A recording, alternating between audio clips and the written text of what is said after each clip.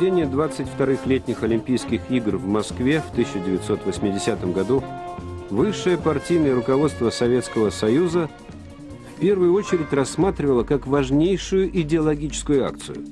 Нужно было показать всему миру Москву как главную витрину социализма. В образцовом городе должен быть образцовый порядок. Кроме МВД, обеспечивать безопасность в Москве было поручено КГБ СССР. В комитете создается штаб «Олимпиада-80». В структуре Комитета госбезопасности был сформирован и специальный отдел по борьбе с международным терроризмом. Накануне Олимпиады э, был создан 11 отдел. Это структура, которая была создана для борьбы с проявлениями, террористическими проявлениями страны иностранцев.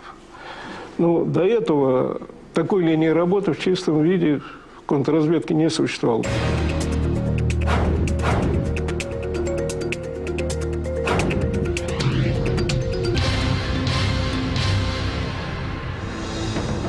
В Древней Греции, на родине олимпийского движения, в период проведения игр прекращались любые военные действия. Противники на время соревнований становились мирными соседями. На Олимпиаде в Москве ни о каком перемирии речи быть не могло. Ее открытие приходилось на самый пик холодной войны. В 1979 году Советский Союз ввел войска в Афганистан. По отношениям с Западом был нанесен смертельный удар. Главные спортивные состязания планеты грозили превратиться в жесточайшую схватку двух конкурирующих политических систем. Но почему же, зная о подобной ситуации, руководство нашей страны все же решилось на столь отчаянный поступок. Вот войск на территорию чужого государства. Неужели советские политики предполагали, что западные державы, исторически заинтересованные в сохранении собственного влияния в Афганистане, равнодушно встретят нашу попытку взять этот регион под свой контроль? И в чем была необходимость такого вторжения? Устинов ведь был довольно активный сторонник вот этой военной акции. Ну, по крайней мере, так мне говорили.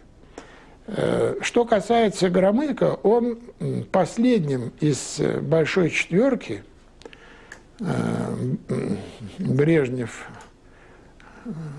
Устинов, там, Андропов, Громыка, э, он последний поставил свою подпись.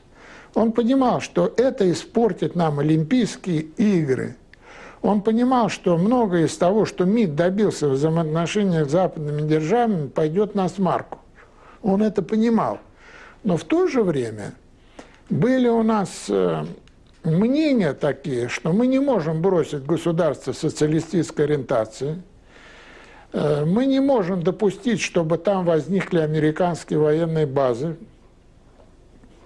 мы не можем, чтобы Амин продолжал властвовать, потому что Амин, э, и были такие сведения, он был как бы двойным агентом. Он служил и нам, и американцам. Преобладала точка зрения наших идеологов и военных, что надо, во-первых, поддержать э, социалистическую ориентацию Афганистана, и, во-вторых, как бы показать всем, какие мы сильные в военном отношении.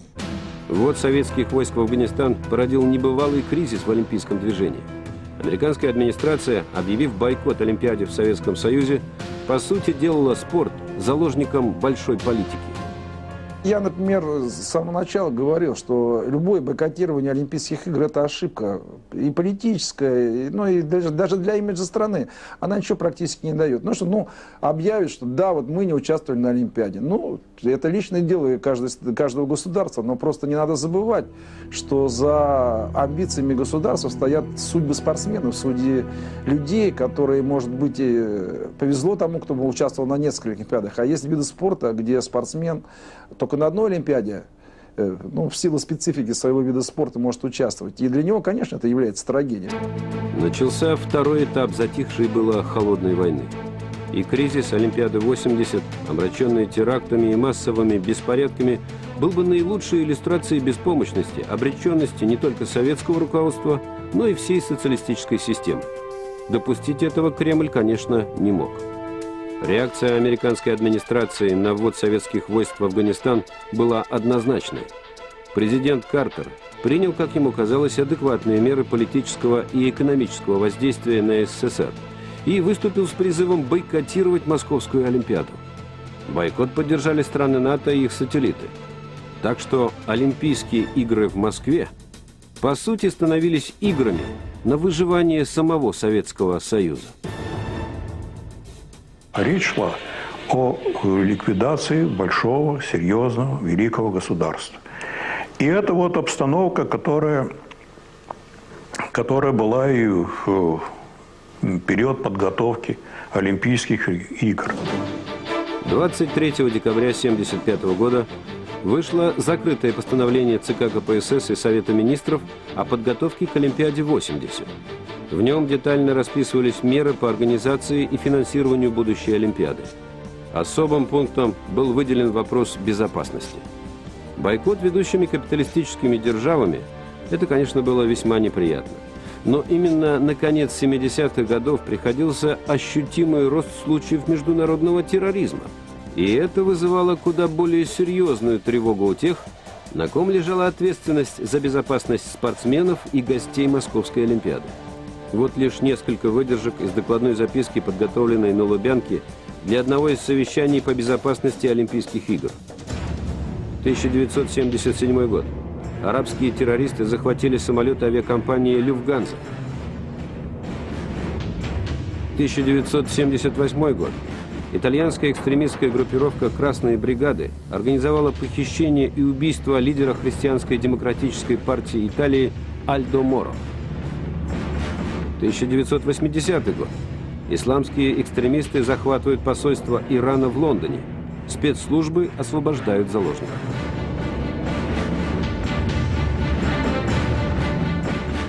В Комитете госбезопасности уже знали. Все эти организации на взаимовыгодной основе сотрудничают с американскими агентами, главная задача которых – сорвать или дискредитировать первую Олимпиаду в коммунистической Москве правительство Соединенных Штатов выделило дополнительно 7 миллионов долларов для активизации подрывной деятельности национальных редакций радиостанции «Свобода», вещающих на Советские Республики Средней Азии и Закавказья. Редакциям были поставлены задачи максимально использовать ислам в противовес коммунистической идеологии. Какого джина они выпускают из бутылки, развивая и оснащая радикальные мусульманские движения, американцы, видимо, тогда не догадывались. В Пакистане началась подготовка афганских маджахедов к проведению террористической акции на Олимпийских играх. Группу готовили советники Центрального разведного управления, вот, но на пакистанской почве. За несколько месяцев до открытия Московской Олимпиады из Сирии по линии военной контрразведки были получены первые тревожные сведения. Международная экстремистская организация «Братья-мусульмане» планирует провести во время Олимпиады в Москве несколько терактов против спортсменов-мусульман. К этому времени нам уже было известно о существовании и, в частности, на территории России, не России, на территории Советского Союза, существование различных законспирированных групп, э, таких как там, братья-мусульмане, например. Не меньшую озабоченность контрразведки вызывали отечественные группировки. Все еще свежи были в памяти теракты в столице зимой 1977 года. Тем более, что суд над их организаторами состоялся в самый разгар подготовки Олимпийских игр. 8 января 1977 года в торговом зале гастронома на Никольской и возле одного из магазинов на этой же улице прогремели взрывы. За полчаса до этого был подорван поезд в метро на перегоне между станциями Измайловская и Первомайская. Погибло 7 человек, 37 раненых. Это была самая крупная террористическая вылазка за последние 50 лет. Ее организаторов удалось задержать только спустя 10 месяцев во время подготовки очередного теракта на Курском вокзале. Ими оказались жители Армении Затикян, Степанян и Багдасарян – члены армянской националистической группировки. Взрывы в Москве они устроили с одной целью – отомстить русским за угнетение, как они считали, армянского народа. Следствие по делу длилось почти два года, и в 79-м террористов приговорили к расстрелу. В начале 80-го года оперативный штаб КГБ получил данные о том, что армянские националисты готовят акцию кровавой мести за своих осужденных соратников. Очередной взрыв они планируют провести во время Олимпиады. Экстремистски настроенных граждан взяли под контроль. Всего таких на территории Союза оказалось 415 человек. Были э, ну, сигналы о том, что человек э, имеет оружие. Человек вынашивает намерение приобрести или изготовить оружие, приобрести взрывчатые вещества, что этот человек по своим э, каким-то личным качествам может совершить какое-то антиобщественное действие в местах массового проведения значит, мероприятий. Начало 80-го года. Подготовка к Олимпиаде вступила в завершающую стадию. Стадионы и спортивные залы Москвы готовились принять гостей со всего мира. В советской столице было построено 99 олимпийских объектов. Среди них Олимпийская деревня из 18 высотных домов с комплексами бытового обслуживания, комфортабельная гостиница «Космос», велотрек в Крылатском с уникальным покрытием из сибирской лиственницы и Олимпийский бассейн. Кроме Москвы, олимпийские соревнования планировали проводить и в других городах – в Ленинграде, Киеве, Минске, Таллине. К открытию игр в июле Советский Союз готовился предстать перед гостями в образе богатой страны-хозяйки. Средств не жалели.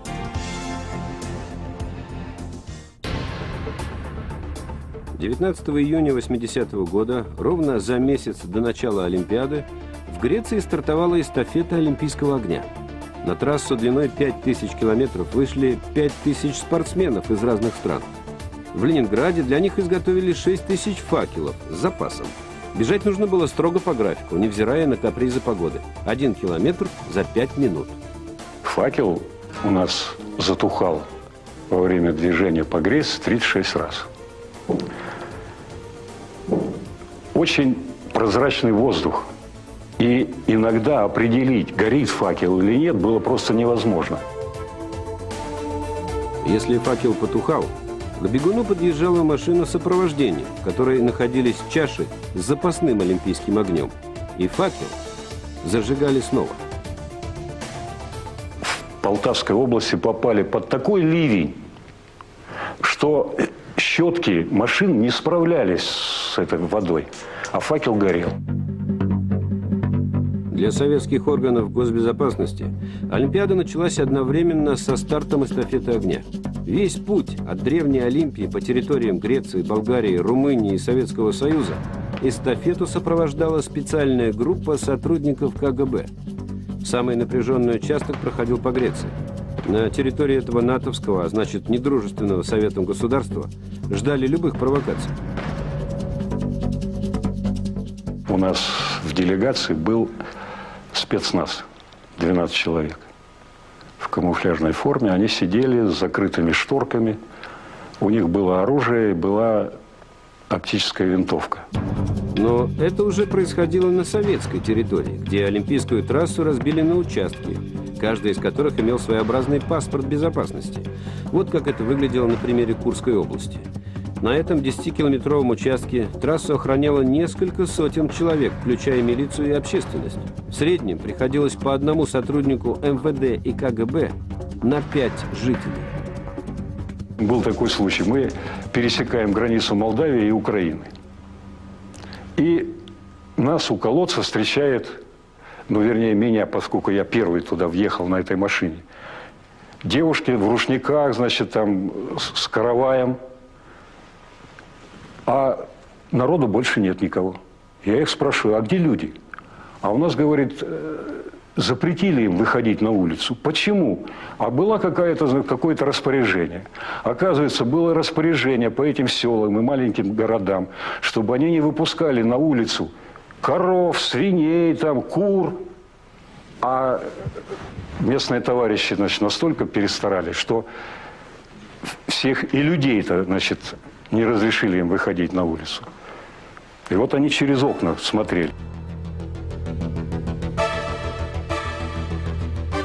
Мы же все время вели э, репортажи оттуда. Вот у нас ехал, допустим, Герман Седов. э, с олимпийским огнем. И он, э, вот олимпийский огонь останавливается в каком-то там городе, допустим, в Кишиневе. И оттуда идет, оттуда передавали сюда репортаж. Он шел в программе «Время». И приехали они в Москву накануне дня открытия. Мы его встречали там был митинг на, на площади около Юрия Долгорукова, там вот перед Моссоветом. И, значит, там были опять речи, там всякие все, и потом его внесли э, в здание Моссовета.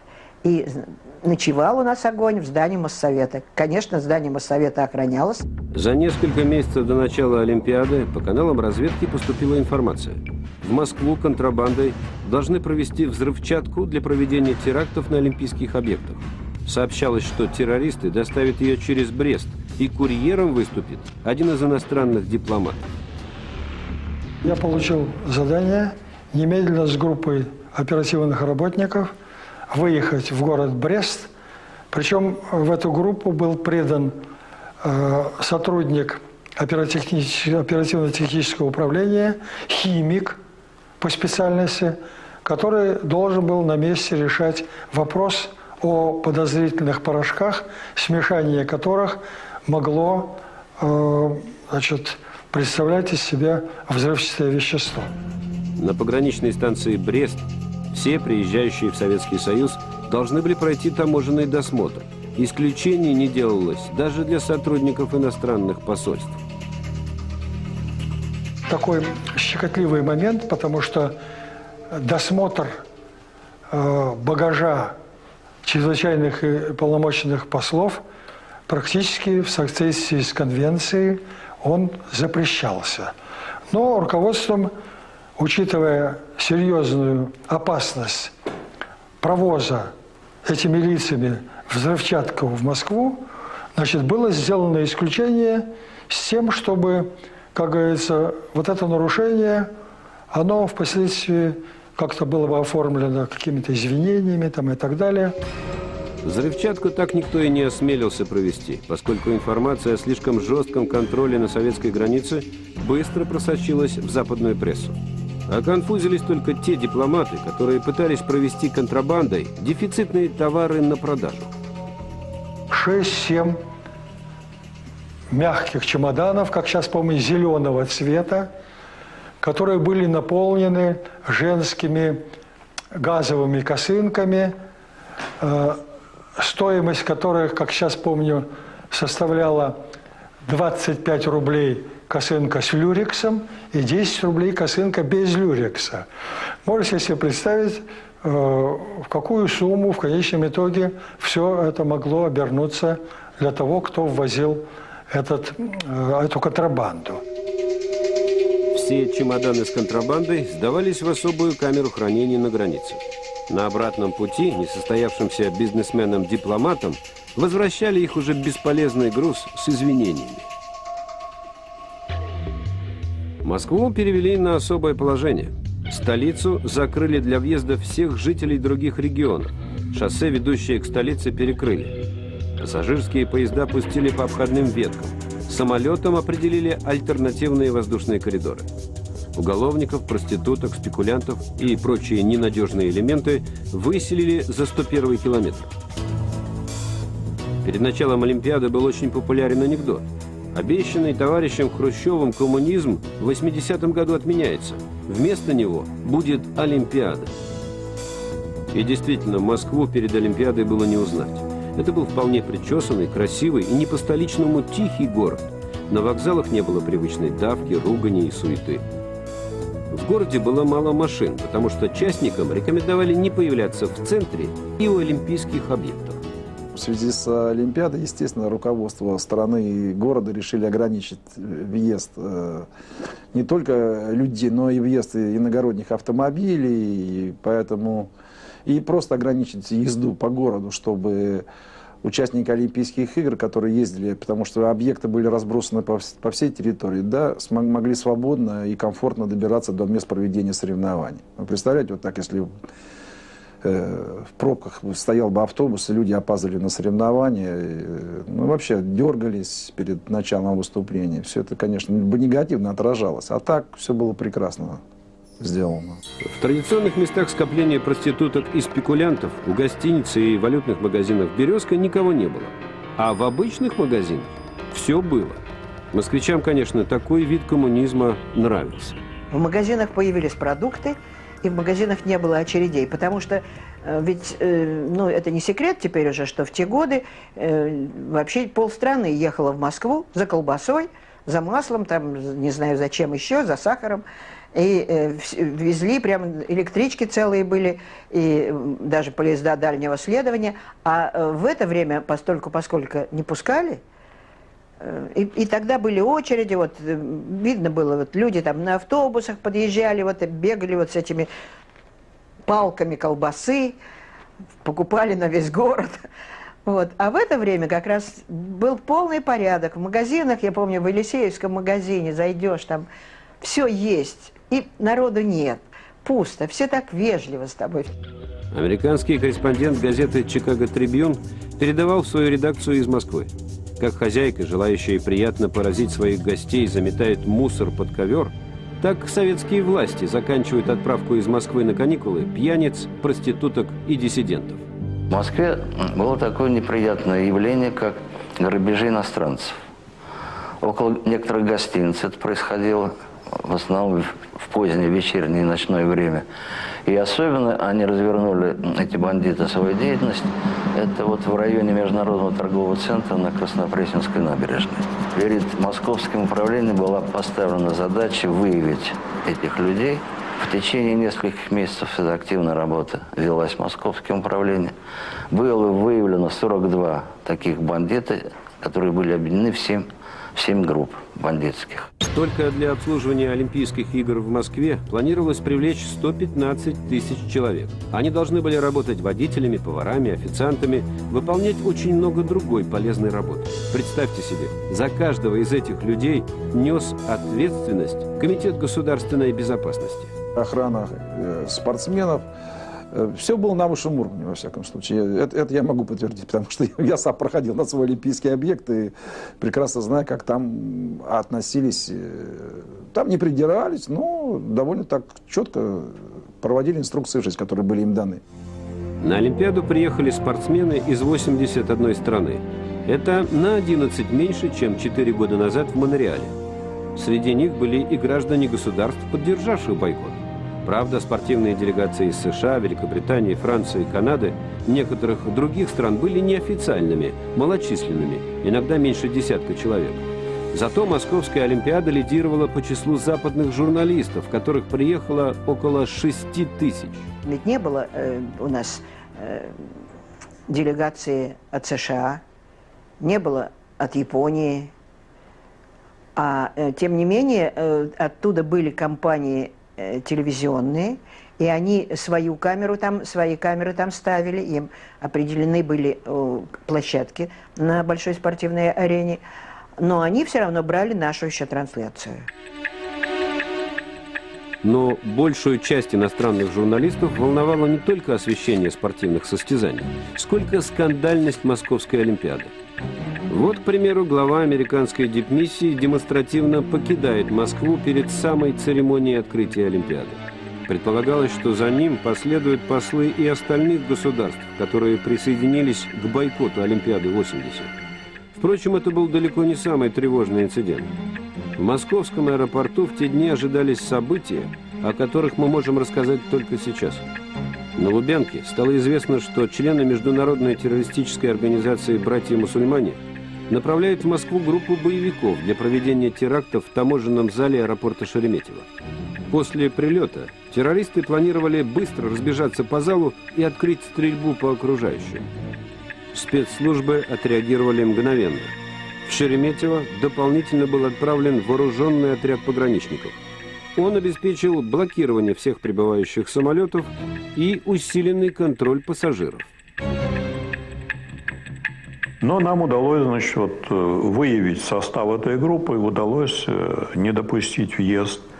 Въехало, по-моему, двое, но когда мы здесь уже э, подорвали их тем, что задержали этих, которые уже были в Москве, значит, они из Москвы быстро уехали. Я вспомню, один из них был уже арестован где-то в Венгрии, в Будапеште.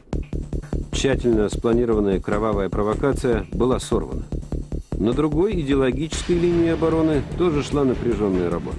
Здесь перед руководством Лубянки была поставлена задача минимизировать последствия бойкота, который все более активно навязывался американцами международному олимпийскому движению. Своего апогея история с бойкотом достигла в день открытия игр 19 июля 80 -го года. Тот самый день и час, когда на территории Лужников должен был вспыхнуть олимпийский огонь, Совсем недалеко от кремлевских стен на территории английского посольства раздували иное пламя. По замыслу устроителей этого почти языческого действия оно должно было отвлечь большое количество журналистов и болельщиков от советской Олимпиады. Дело в том, что по распоряжению британского премьер-министра Маргарет Тэтчер все билеты, приобретенные сотрудниками дипмиссии в Москве, должны быть уничтожены в присутствии иностранных журналистов во дворе британского посольства. Советские телезрители, конечно, ничего об этом не узнали. Главная тема новостей в те дни – торжественное открытие игр на основной олимпийской арене в Москве. 19 июля 80 -го года в 16 часов по московскому времени над празднично украшенной большой спортивной ареной в Лужниках раздалась трансляция звона кремлевских курантов. Кульминацией церемонии стало появление на стадионе героя предыдущей Монреальской Олимпиады баскетболиста Сергея Белова – в его руках факел с огнем, зажженным месяц назад в Греции. Торжественный парад олимпийцев. Некоторые спортивные делегации шли не под национальными знаменами, а под флагами с пятью олимпийскими кольцами. Это были спортсмены, рискнувшие приехать в Москву из стран, поддержавших бойкот.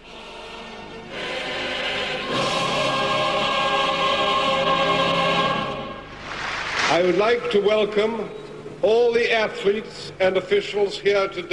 мне хотелось бы сегодня здесь приветствовать всех спортсменов и судей, особенно тех, кто продемонстрировал свою полную независимость, решив приехать на соревнования, несмотря на оказывавшийся на них сильный нажим.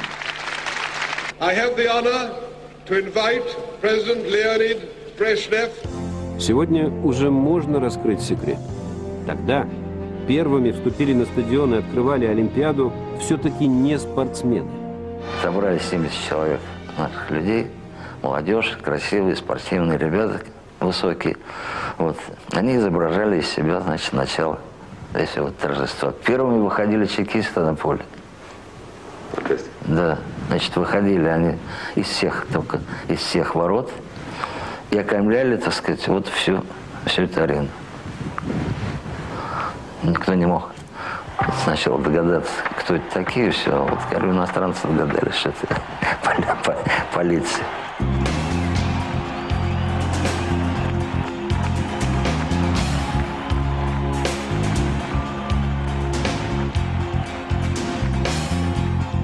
Сотрудники спецслужб на стадионе в глаза не бросались. Ну, может быть, э, опытным глазом кто-то это и видел – но э, просто зрители, которые сидели на трибунах, э, заполняли стадион, потому что, ну, там просто яблоку негде было упасть, народу было очень много. Конечно, они не бросались в глаза, потому что они были или в олимпийской форме, или в, гражданских, в гражданском обычном костюме. В канун открытия Московской Олимпиады на Западе вышла довольно любопытная книга, которая называлась «Москва 1980». Это было скорее пособие для террористов, в котором рассказывалось, как и куда удобнее пронести взрывчатку, обманув при этом спецслужбы. Центральное событие в книге – грандиозный теракт. Это взрыв, который должен произойти на центральной спортивной арене в Лужниках во время торжественного открытия Олимпийских игр. Церемония открытия – самый зрелищный и самый ответственный момент. Не только потому, что на правительственной трибуне находится глава советского государства – Сотрудники госбезопасности понимали, любой, даже мелкий инцидент во время этого праздника мог послужить сигналом к активным действиям тех, кто заинтересован в срыве Московской Олимпиады. В 1972 году на Олимпиаде в Мюнхене экстремисты продемонстрировали свою силу и фактически беспомощность тех, кто отвечал за безопасность. Напомним, на 20-х Олимпийских играх в Мюнхене члены арабской террористической организации «Черный сентябрь» проникли на территорию Олимпийской деревни в здание, где располагалась команда Израиля. Два спортсмена тогда были застрелены на месте, девять взяты в заложники. Попав в засаду на пути в аэропорт, террористы убили всех заложников. Шеф полиции Мюнхена, с которым мне пришлось разговаривать, имея в виду опыт Мюнхенской Олимпиады, когда там была расстреляна израильская команда, он сказал одну фразу.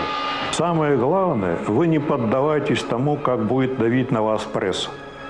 Моя ошибка состояла в том, что я не выдержал, когда писали о том, что я там собаками охраняю, что я там автоматчиков веду, и я не выдержал и решил вот несколько ослабить. Я вам предупреждаю, вот, делайте то, что вы считаете нужным делать, с тем, чтобы обеспечить режим.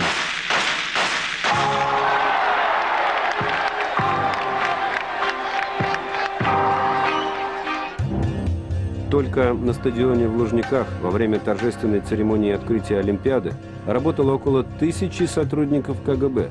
Причем за каждым из них был закреплен определенный сектор трибуны или подтрибунных помещений. Гости, сидящие на трибунах, и не предполагали, что их внимательно, через оптику биноклей, изучают сотрудники КГБ. Особое внимание уделяли иностранцам, в первую очередь, конечно, американцам. Предполагалось, что их приедет около 18 тысяч человек. Ну, а из-за бойкота приехало чуть больше тысячи. Кстати, оптика биноклей помогла чекистам обнаружить, что кто-то из гостей сунул под напольное покрытие какой-то сверток. Без особого шума проверили. Оказалось, что это две использованные петарды.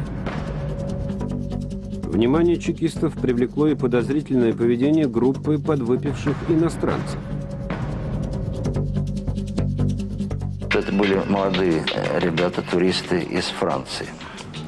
Они заведомо, видимо, все это дело организовали. То есть у нас были такие данные, что они сядут на трибуны, у них будут такие небольшие плакаты, это буквы русские, а в результате, когда они сядут в линейку, это будет, так сказать, вот надпись такого, прямо скажем, неприятного содержания, враждебного содержания. Все. Думали, что в этом случае сделать. Не пускать плохо, выдворять тоже плохо. Был такой вариант, значит, давайте к ним подойдем и их перемешаем. Посадим таким образом, чтобы текста не получилось. Получилось очень просто. Я когда с двумя товарищами подымался наверх с тем, чтобы провести, так сказать, такую пересадку, подходя к ним, погрозил пальцем. Это было достаточно, они больше не шелохнулись.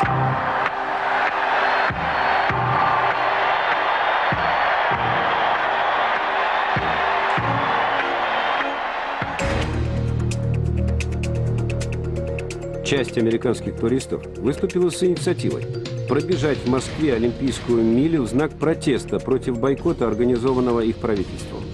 В Советском Олимпийском комитете лучшего места, чем набережная Москва-реки на Ленинских горах, не нашли. Сотрудников КГБ такое решение чиновников не обрадовало. Вверх по склону от этой набережной начинаются правительственные резиденции. Эти территории считаются режимными и охраняемыми. Американцы могли выкинуть какой-нибудь неприятный сюрприз, но менять место проведения Олимпийской мили было уже поздно. Поэтому сотрудники КГБ решили устроить американцам настоящий спектакль. Для начала забег предложили провести необычно рано, в 6 утра. Мотивировали тем, что день предстоит жаркий и лучше бежать, когда прохладнее. Когда американцы стартовали в назначенное время, к ним неожиданно присоединились и советские бегуны – Впереди колонны двигалась машина со съемочной группой центрального телевидения. Американцы и не предполагали, что роли спортсменов и телевизионщиков исполняли офицеры КГБ. Забег прошел без эксцессов. Часть американских туристов жила в гостинице «Украина». И мы получили сигнал о том, что в номерах какая-то возня у них, краски какие-то таскают туда из номера в номер. Ну, мы так подумали, ну что там может быть? Лозунг какой-нибудь, наверное, готовят. И мы не ошиблись. Они, оказывается, взяли казенную украинскую простыню этой гостиницы «Украина» и написали на ней крупными буквами, значит, антисоветский лозунг. Я сейчас уже содержание его не помню, но очень противный лозунг. Пришли, сели в автобус. В автобусе огромные стекла, вы знаете, эти икарусы там. Развернули этот лозунг вдоль всего автобуса, около стекол, и поехали, имея в виду, что они через весь город с этим лозунгом проедут. Проехали ровно 50 метров. Двое наших товарищей, очень вежливые, улыбчивые, симпатичные ребята, вошли, сняли этот лозунг. Никаких протестов со стороны американцев не было.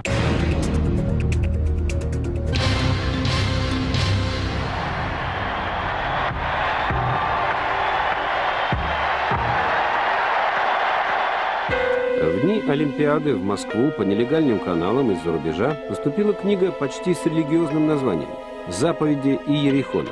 На самом деле, это был еще один кровавый триллер о терактах во время Олимпиады. По замыслу автора романа «Олимпийская деревня» должна была взлететь на воздух после того, как террористы взорвут прачечные и рестораны. Жестокие пророчества автора имели под собой реальную почву. Сигналы о том, что в Лужниках, в Олимпийской деревне и в других частях города готовятся провокации, поступали непрерывно. К примеру, проживающие в Олимпийской деревне афганские спортсмены рассказали как-то военнослужащим 22-го полка МВД, что члены афганской спортивной делегации перед выездом в Москву получили анонимные письма. В письмах высказывалась угроза, что они будут убиты в Олимпийской деревне во время тренировок. Их было, по-моему, 16 человек. Вот. Афганцев, афганских спортсменов. Один из них даже чуть ли не выиграл э, медаль вот, в борьбе, но, но не смог.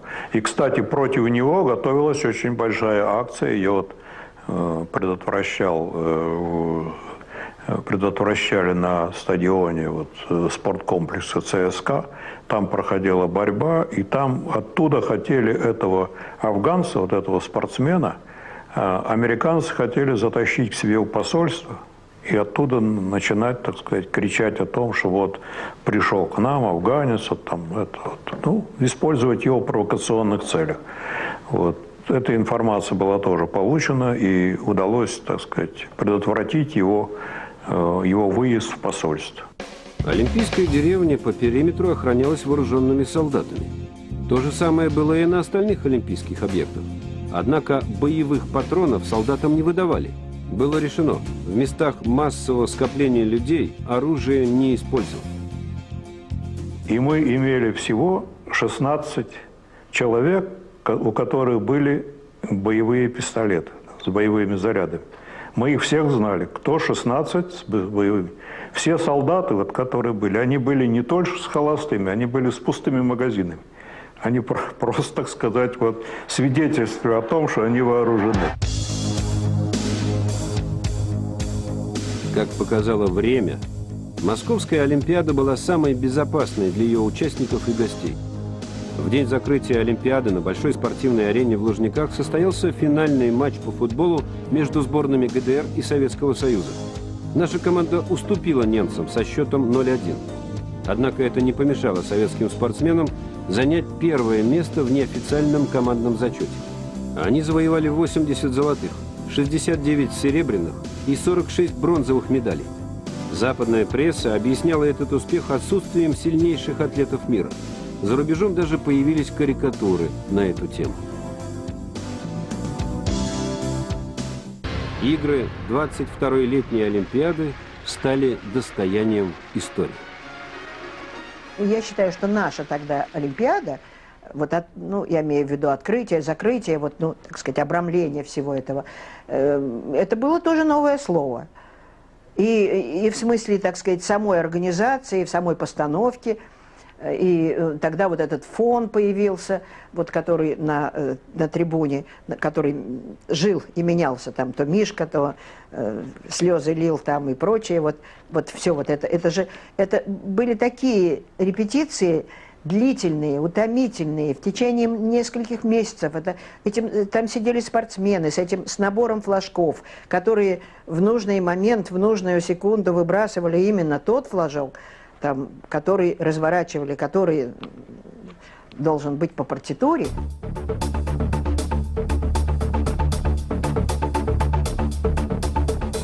Две недели Московской Олимпиады были насыщены самыми драматичными спортивными зрелищами.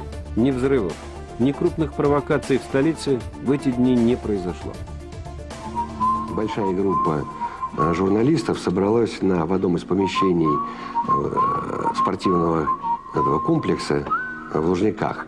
И люди просто отдыхали, разговаривали, когда вдруг раздался голос через микрофон одного иностранного журналиста, который обратился к своим коллегам с вопросом, вроде бы, господа, а что вы можете сказать? Какая команда наиболее глубокое впечатление на вас произвела вот в период этих Олимпийских игр? С места все кричали, кто какую, какая команда, какая команда им казалась наиболее симпатичной в этом смысле. А кто называл самую дружную, кто говорил самую обаятельную, кто говорил наиболее, так сказать, бойцовские качества отмечался. И вдруг один, мне кажется, это был швед, такой рыжеватый, э, довольно корпулентный журналист встал и сказал, а мне представляется, что лучшей командой на Олимпийских играх это была команда Андропова. Москва прощалась с Олимпийскими играми. Делегации всех стран признавали, что по организации и красоте проведения Московские Олимпийские игры превосходили любые предыдущие. Все переживали небывалое ощущение праздника. Успехом наших спортсменов радовалась вся страна. 36 мировых рекордов принесли они для нашей победы. Никогда, ни одной спортивной делегации прежде не удавалось покорить столько вершин Олимпиады.